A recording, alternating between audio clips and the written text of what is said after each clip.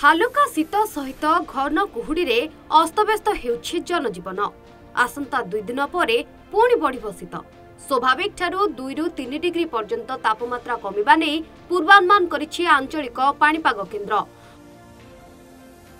ଫଳରେ ଉପକୂଳ ଓଡ଼ିଶା ସମେତ ଅଭ୍ୟନ୍ତରୀଣ ଓଡ଼ିଶାରେ ଅଧିକାଂଶ ଜିଲ୍ଲାରେ ଶୀତ ମଧ୍ୟ ବଢ଼ିବ।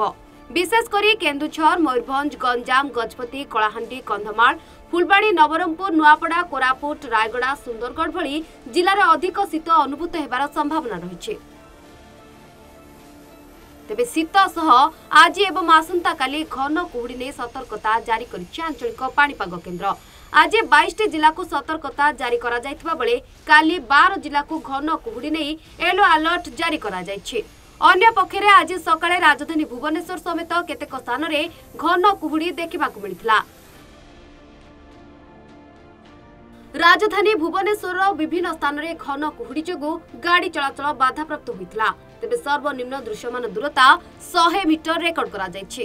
ଘନ କୁହୁଡ଼ି ସମୟରେ ଗାଡ଼ି ଚାଳକମାନେ ସତର୍କତାର ସହ ଗାଡ଼ି ଚଳାଇବା ପାଇଁ ମଧ୍ୟ ପରାମର୍ଶ ଦିଆଯାଇଛି। ବ୍ୟୁରୋ ରିପୋର୍ଟ ସୂଚନା ଟିଭି।